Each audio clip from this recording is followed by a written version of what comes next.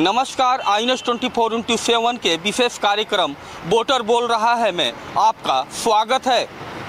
मैं हूँ संतोष कश्यप और आज हम पहुँचे हैं अंबिकापुर विधानसभा सीट पर, जहाँ से सूबे के deputy CM T S Singhdeo विधायक हैं।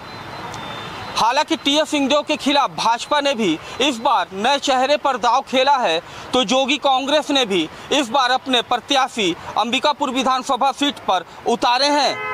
कई निर्दलीय चेहरे भी हैं। तो क्या इस बार के विधानसभा चुनाव में वोटर के मन में क्या है? आखिर वोटर क्या बोल रहा है इस बार? ये तमाम बातें हम जानने का प्रयास करेंगे। साथ ही ये भी जानने का प्रयास करेंगे कि क्या टी एस सिंहदेव के इस अभेद किले को इस बार बीजेपी या अन्य दल भेद पाएँगे? तो आइए चलते हैं वोटरों के बीच और जानते हैं कि आखिर इस बार क्या कहता है वोटर। तो इस वक्त हम अंबिकापुर के घड़ी चौक पर मौजूद हैं। देख सकते हैं दीपावली का भी माहौल है चुनाव के साथ साथ दीपावली का माहौल है। बाजारें सज गई हैं ग्राहक भी आ रहे हैं। मैडम इस बार दीपावली की खरीदारी भी आप करने पहुँचे हुए हैं। साथ ही इस बार विधानसभा चुनाव भी है।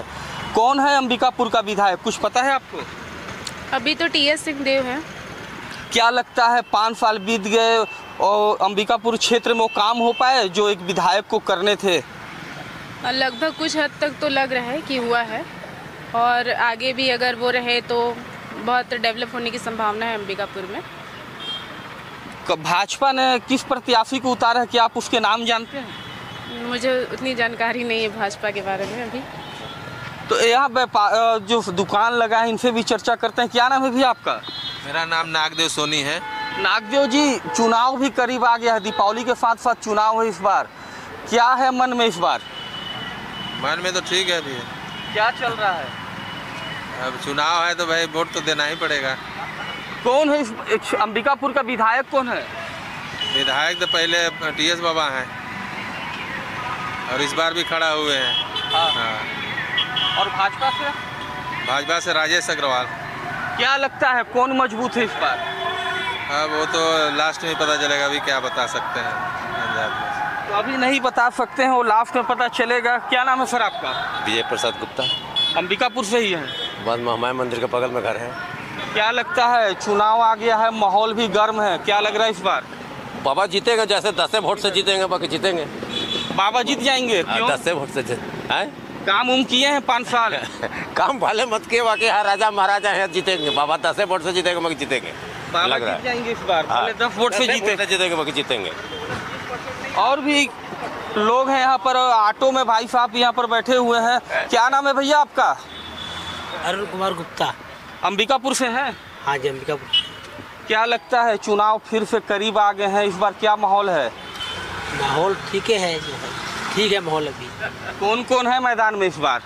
इस बार मैदान में तो अजय अग्रवाल जी हैं टी एस बाबा हैं। और? आम आदमी पार्टी योगी कांग्रेस। अभी वो सब तो कोई अभी जानकारी नहीं है मेरे पास। तो क्या लगता है इस बार? अजय रा, राजेश अग्रवाल या टी एस सिंहदेव कौन? पंजा छाप भाजपा? फुल छाप कौन? देखिए भाजपा जीतेगी कांग्रेस जी- पंजा साहब जीते तो भाई समय बताएगा। कौन कौन है प्रत्याशी इस बार मैदान में? बाबा हैं अब एक हैं वहाँ के लखनपुर के जायसवाल साहब। अग्रवाल जी। हाँ। तो क्या लगता है इस बार क्या माहौल है? कौन जीतेगा इस बार? कौन बाजी मारेगा अंबिकापुर अभी क्या बताया जाए? ये तो इलेक्शन का टाइम होता है एक दिन दो दिन रहता है तभी कुछ समझ में आता है। अभी कुछ नहीं बता सकते। क्या लगता है टी एस सिंह जो पाँच साल में जो काम करना था जो विकास करना था अंबिकापुर का वो विकास आपको दिख रहा है कहीं? ये इस इलाके में दिन नहीं दिख रहा है। सरगुजा डिस्ट्रिक्ट में नहीं दिख रहा है। और जगह भले दिखता होगा मगर सरगुजा में नहीं हुआ। नए उम्र के मतदाता क्या सोचते हैं? आप लोग पहली बार आप मतदान करने जाएँगे इस बार? है ना? क्या सोचते हैं क्या सोच के आप इस बार मतदान करने जाएँगे? भैया हम लोग का सोच तो ये है कि अधिक से अधिक विकास हो और हम लोग क्या है कि बीजेपी के समर्थक हैं ठीक है? तो हम लोग का वोट तो बीजेपी को ही जाएगा। आप यूथ हैं पहली बार वोट डालने जाएँगे तो आप ये सब नहीं देखते हैं कि किसने काम किया किसने विकास किया किसने डेवलपमेंट किया? काम तो भैया हमको बीजेपी का ही दिख रहा है। बीजेपी का? हाँ बीजेपी का ही काम दिख रहा है इसलिए हम लोग बीजेपी का ही सपोर्ट करेंगे। तो अंबिकापुर न्यायालय के हम बाहर खड़े हैं देख सकते हैं अभी लंच हुआ है जो अधिक अधिवक्ता हैं वो यहाँ पर गप सप कर रहे हैं। तो हम भी यहीं पर रुक गए और सोचा कि आज इनसे भी चर्चा कर लें कि आखिरकार अंबिकापुर विधानसभा के जो वोटर हैं वो क्या बोल रहे हैं। सर क्या नाम है सर आपका? बच्चू तिवारी।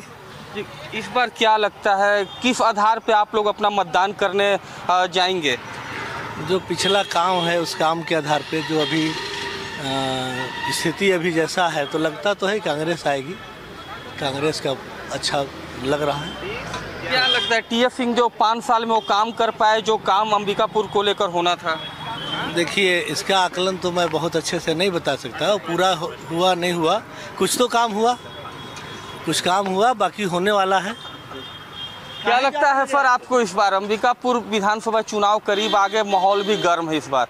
क्या लगता है किस आधार पे वोट करने जाते हैं आप लोग? काम के आधार पे। क्या लगता है टी एस सिंह जो तीन बार से विधायक हैं इस और एक बार इस बार फिर भाजपा ने भी नए चेहरे पे दाव खेला है? क्या लगता है किस आधार पे जाएँगे? अपने कामों के आधार पे जाएँगे। तो डेवलपमेंट के नाम पे वोट करने की बात कर रहे हैं और भी अधिवक्ता यहाँ पर बैठे हैं। आप लोग किस आधार पर वोट करने जाएँगे इस बार? क्या लगता है? अंबिकापुर का जो विकास होना था हो पाया? नहीं, विकास तो पूरा नहीं हो पाया, क्योंकि मैं देखता हूँ अंबिकापुर में कि जो मेडिकल का सुविधा था, वो वो भी काफ़ी नहीं हो पाया है। और हमारे पूर्व मंत्री मतलब स्वास्थ्य मंत्री भी थे टी एस थे। तो उसके बाद भी जो मल्टी स्पेशलिस्ट हॉस्पिटल बनना था चाहते तो बन जाता, लेकिन आज तक बना नहीं। तो उसके बाद मैं गोधमपुर वार्ड में रहता हूँ। नावा पार से गोधमपुर जाएँगे तो इतना ख़राब जगह रोड है तो कैसे विकास माने हम? इसलिए मैं कहता हूँ कि इस बार थोड़ा सा सोचना पड़ेगा। सोचना पड़ेगा। आपको क्या लगता है कि अंबिकापुर का जो पाँच साल में डेवलपमेंट हो पाना था डेवलपमेंट हुआ? नहीं हुआ है। लापरवाही भारी बरती गई है। और अभी तो अब दो चार दिनों से गली मोहल्लों का सड़क सुधार रहे हैं तो इस टाइप का विकास तो नहीं चाहिए हम लोगों को। जो कि चुनाव आए तो गली और लाइट खम्भों को उचित कर दें सब ये ठीक नहीं है। ऐसी राजनीति हम लोगों को बहुत ही वोट देने से भी किनारे करती है। क्या सोच के इस बार आप वोट करने जाएँगे? हमारे यहाँ सरगुजा का जो विकास होना चाहिए वो वास्तविक में नहीं हुआ है। रोड हर तरफ़ देख लिए बदहाली है। यातायात व्यवस्था भी बहुत बढ़िया नहीं है। शिक्षा स्वास्थ्य में भी पीछे ही हैं। हमारे यहाँ मंत्री हैं विधायक हैं सब हैं कोई काम नहीं करते हैं ये लोग। चुनाव आता है तो लेके निकलते हैं झोला और साड़ी और कंबल बांटते हैं। बाकी फिर पता नहीं चलता इनका। तो हम लोग को इस बार विचार करना पड़ेगा क्या करना है। चुनाव की तरह जैसे जैसे दीपावली के दिन भी करीब आ रहे हैं, बाज़ारों में रौनक देखने को मिल रही है। लेकिन इस रौनक के बीच सबसे बड़ा उत्सव भी चुनाव है।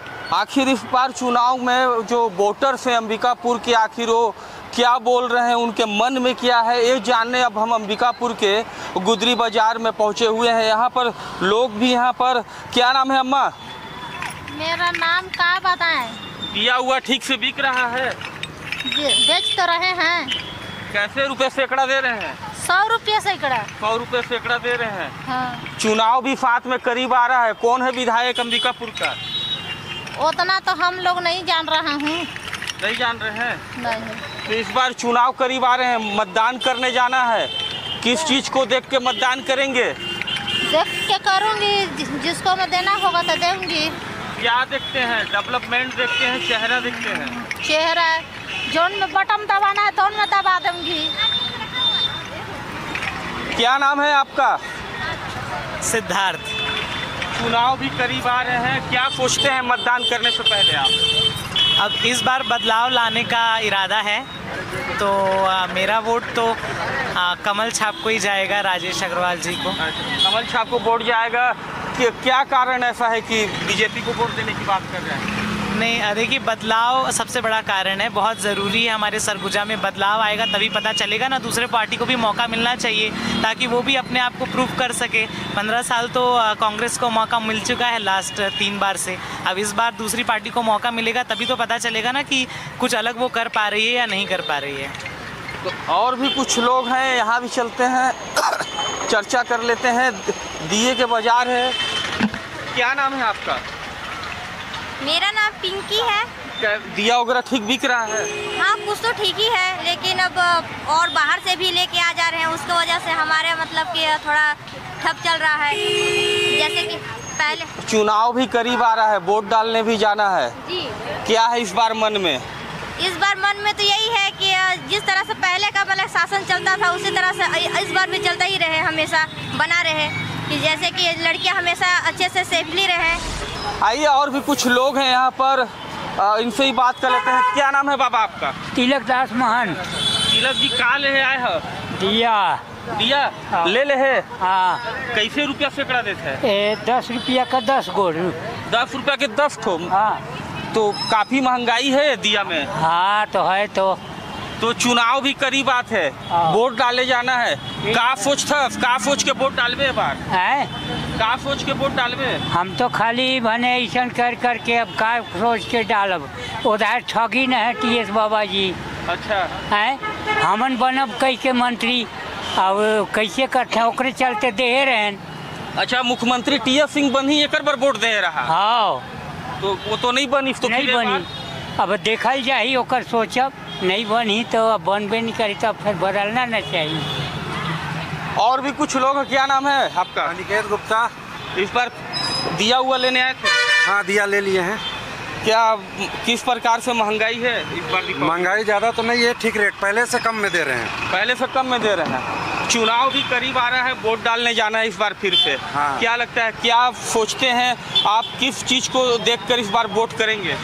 इस बार देख के करेंगे सरकार बदलना है इस बार। महँगाई को देखते हुए।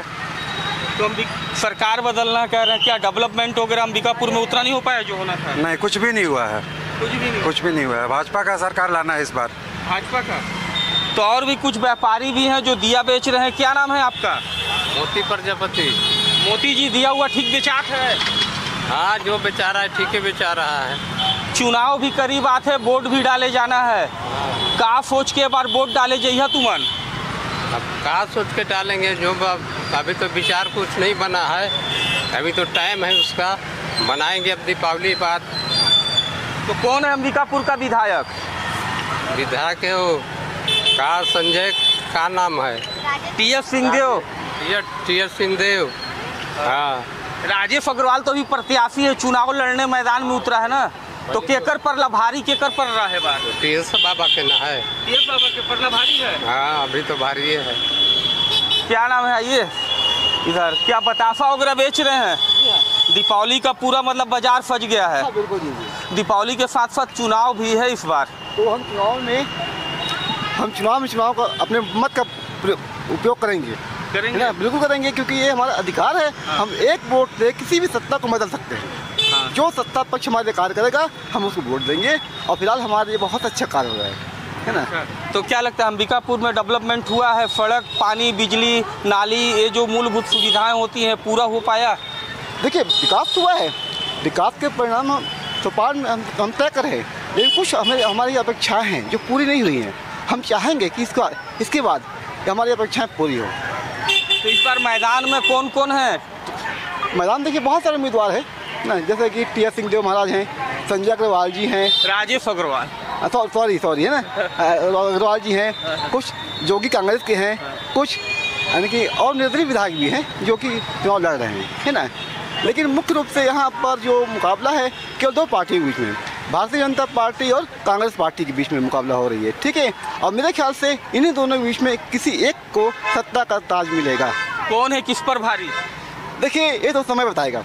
ये समय बताएगा कौन किस पे भारी है? अभी हम कहते ये तो दंगल चल रहा है, ना, किसका दांव लगता है, और कौन किसको पटकनी देता है, ये तो आपका दिसंबर माह में पता लग जाएगा आपको। तो आपने देखा कि छत्तीसगढ़ के दूसरे सबसे हाई प्रोफ़ाइल सीट अंबिकापुर विधानसभा के आखिर वोटर क्या बोल रहे हैं? और क्या है अंबिकापुर का माहौल? तो मुझे दीजिए इजाज़त। मिलेंगे किसी और विधानसभा के साथ। नमस्कार।